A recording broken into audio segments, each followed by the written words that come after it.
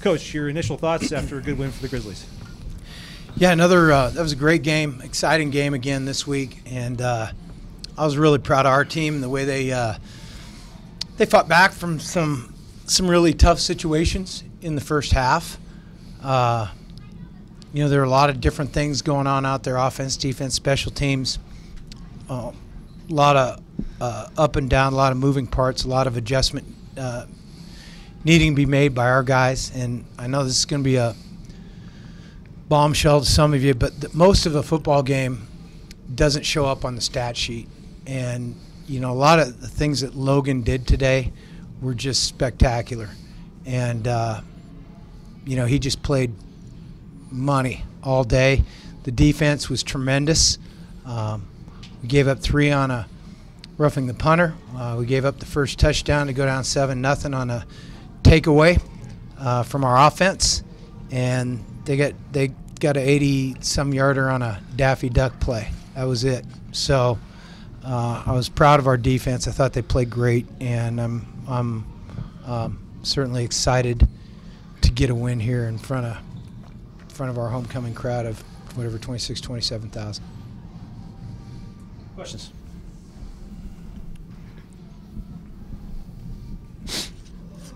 Bobby, you said Logan did a lot of spectacular things. Can you just expand on what some of those things were?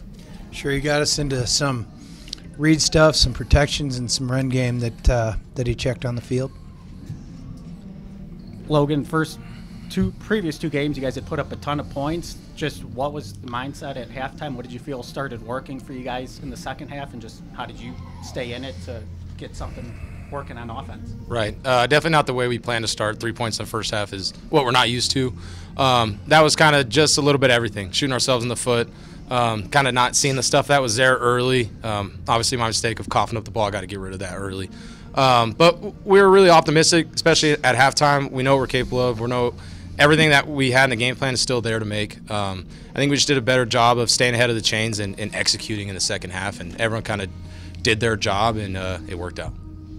Bobby, can you speak to just offensive adjustments you guys made at halftime, and what did you feel was the biggest difference with the offense in the second half? Well, a couple things, like Logan just said it. We were we were uh, better in first down, um, better in first and second down, made it made it uh, better for us, and then uh, we played some uh, more three and four man edges that took care of some of their edge pressure. Yeah. Riley, what do you think about the defense today, and obviously they threw a lot of you know little different things you know at you on offense uh, with, with, the scheme and the you know backup quarterback. But overall, your thoughts on how you guys did today? I think this defense responds to adversity well. I mean, last week we had a bad taste in our mouth. Throughout this season, you know, we've had a, a target on our back. I feel like today we stepped up. We executed in our assignment. We executed in our everyone doing their job, and it just really is a taste of what this defense can do. And the sky's the limit for us. Logan, what's it like when you can't get into that rhythm early, and it feels like you know you can get to some stuff, but it's out of rhythm. How do you like stay patient in the beginning of the game like that? Uh, it's just staying optimistic on the sideline. Uh, kind of now that we have the film on the sideline, it helps. We kind of go over what we could have been better at. Um, talk with the O line, talk with the receivers, make adjustments over the phone with Coach Pease. But uh, I think just staying optimistic. We knew at some point our big plays were going to come. We just had to stay at it, um, stay focused on the next play. Don't get worked up about the last one. Um, so we knew at some point we were going to get our plays and get our yards, and it was just a matter of time. And um, the offense did a really good job being focused throughout the whole game. Coach, when it was 24-20, um, and it was the timeout on second and long, and then you do the, the play action to Fonts um, after that, that timeout. Just your thoughts on, on that play and kind of being safe but uh, aggressive there, and not necessarily like you know maybe running it and setting up a field goal. You know, I don't remember it. I, will have to go back. I don't remember it.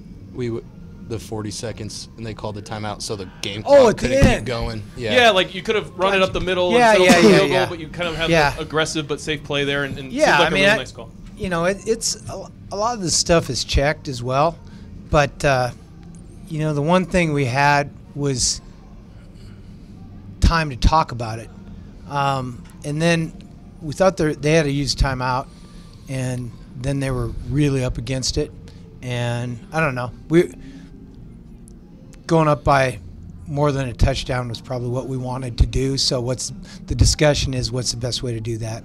I was thinking third quarter, man. Sorry. And then last one for me, Logan. Uh, some of the checks. I think you had another one where you threw it out to Bergen for the little s- screen there. Just, I guess, like how more comfortable are you in the offense and being Yeah. able to make you know those calls as the season goes on and Yeah.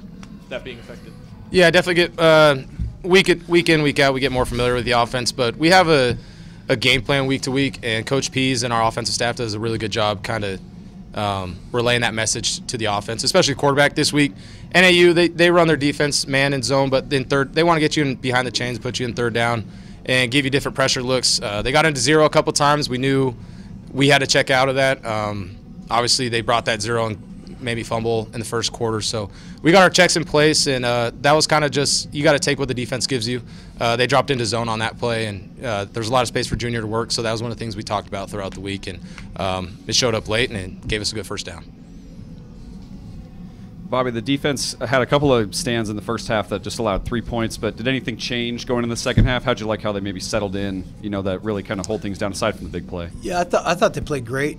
The first half, too, Kyle. It was great. And they didn't give up anything. We they had them stopped on the one field goal drive, and we roughed the punter. So um, they they really gave up nothing in the first half.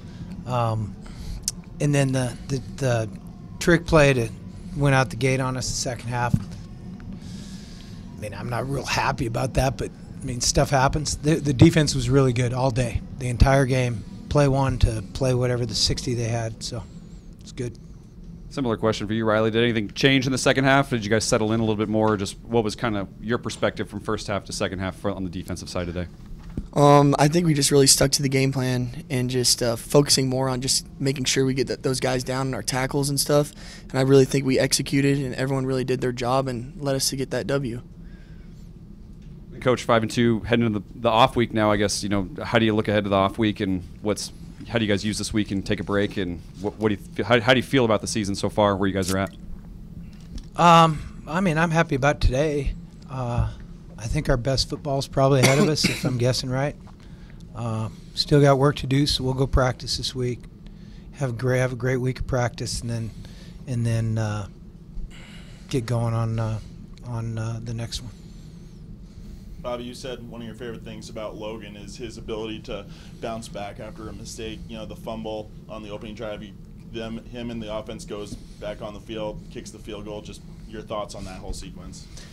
Yeah, I think that resilience and, and competitiveness are attributes that every football player should have, and you know he he's got it.